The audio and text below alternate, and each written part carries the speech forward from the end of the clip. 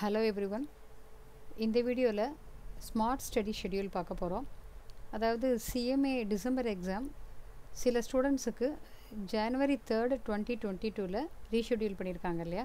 அந்த ஸ்டூடெண்ட்ஸுக்கு இந்த கிடச்சிருக்கிற இந்த நாட்களை எப்படி அவங்க பயன்படுத்திக்கிறது அப்படிங்கிறத பார்க்க போகிறோம் ஸோ இது ஒரு ரொம்ப ஒரு எக்ஸ்ட்ராவாக கிடச்சிருக்கிற ஒரு அட்வான்டேஜ் உங்களுக்கு.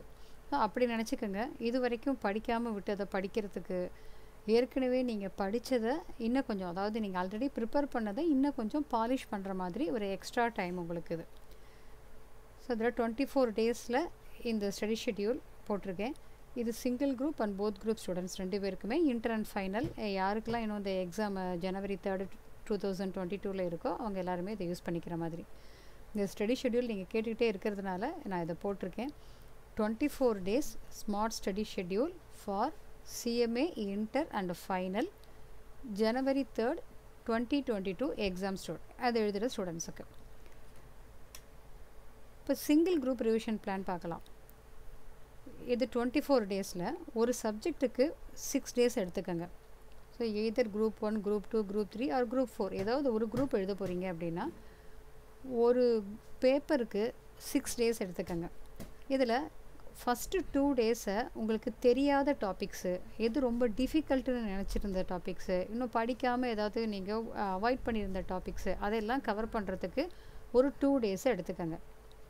ஸோ இதெல்லாம் உங்களுக்கு கிடச்சிருக்கிற ஒரு பெரிய அட்வான்டேஜாக நினச்சிங்க இது வரைக்கும் கவர் பண்ணாத டாபிக்ஸ் எல்லாம் கவர் பண்ணுறதுக்கு கிடைச்ச ஒரு வாய்ப்பு. ஸோ இந்த டூ டேஸை அதுக்கு யூஸ் பண்ணிக்கோங்க.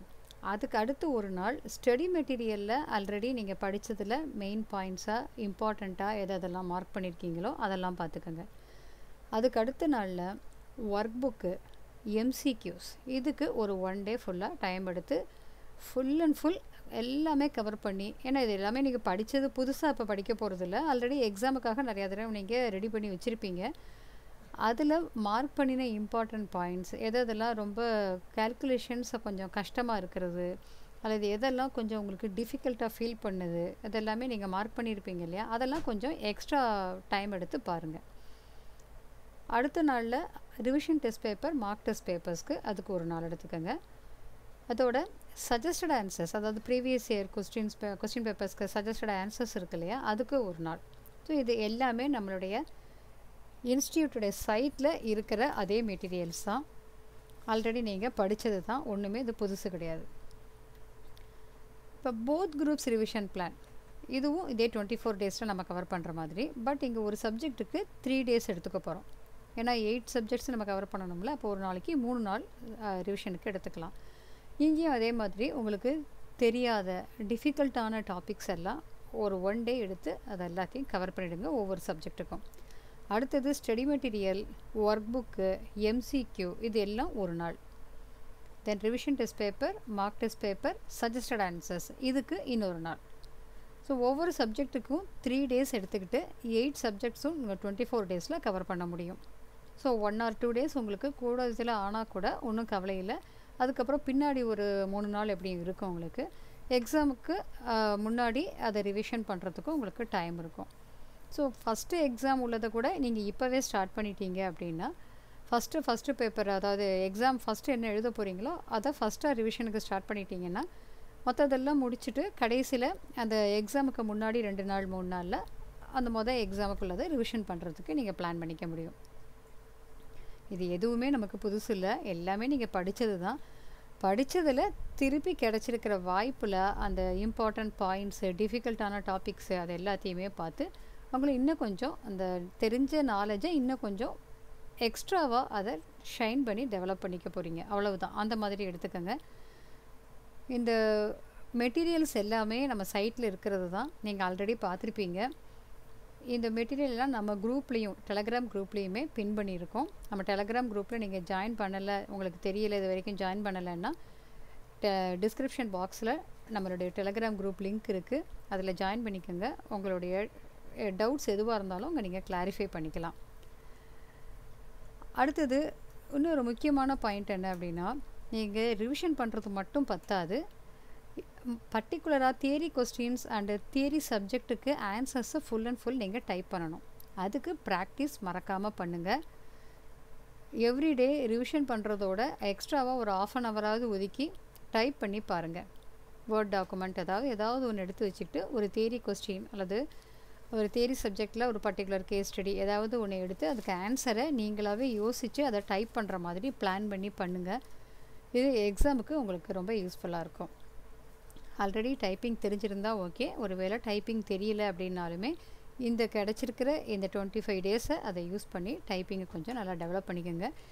அப்படி டைப்பிங் ஸ்கில்லை நீங்கள் இம்ப்ரூவ் பண்ணுறதுக்கான ஒரு வழி என்ன அப்படிங்கிறதும் ஒரு வீடியோவில் சொல்லியிருக்கேன். அதனோட லிங்க்கும் நான் கீழே கொடுக்குறேன். அதுவும் நீங்கள் அந்த வீடியோவையும் நீங்கள் போய் பார்த்துக்கலாம். இன்னொரு பாயிண்ட்டு நம்மளுடைய எமினன்ஸ் ப்ரொஃபஷனலில் நம்ம ஸ்மார்ட் ரிவிஷன் அப்படின்னு சொல்லி கேஸ் ஸ்டடி கொஸ்டின்ஸாக நான் ரிவிஷன் பண்ணிக்கிட்டு வரோம். லைவ் கிளாஸஸாக போட்டு டெய்லி ரிவிஷன் பண்ணிக்கிட்டு வரோம்.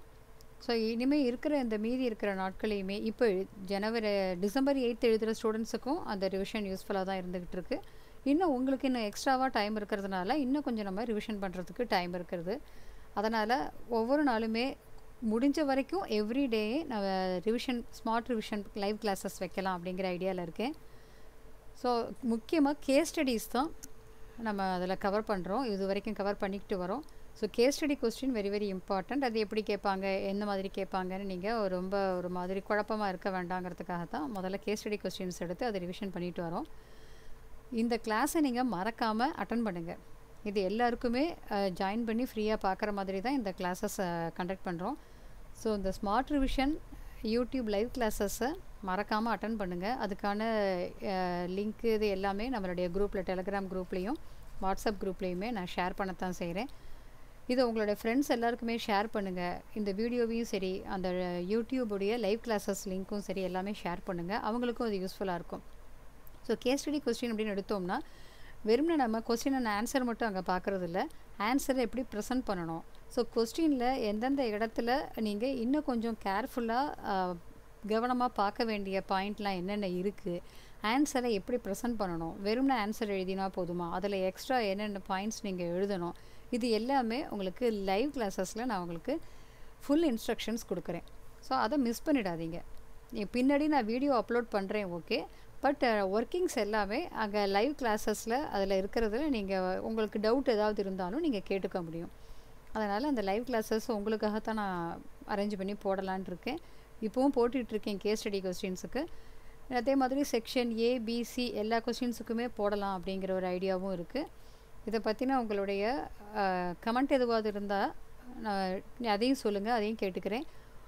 உங்களுக்கு தேவையான வீடியோஸ் என்ன அப்படிங்கிறது எனக்கு தெரிஞ்சால் தான் அதுக்கேற்ற மாதிரி நானும் வீடியோஸ் போட முடியும். ஸோ உங்களுடைய கமெண்ட் எதுவாக இருந்தாலும் சொல்லுங்கள் நம்ம சேனலுக்கு இது வரைக்கும் சப்ஸ்கிரைப் பண்ண மறந்துருந்தீங்கன்னா இப்போ மறக்காமல் சப்ஸ்கிரைப் பண்ணிக்கோங்க. உங்கள் ஃப்ரெண்ட்ஸ் எல்லாருக்குமே இந்த வீடியோவை ஷேர் பண்ணுங்கள் நம்ம அடுத்து ஒரு வீடியோவில் மீட் பண்ணலாம்.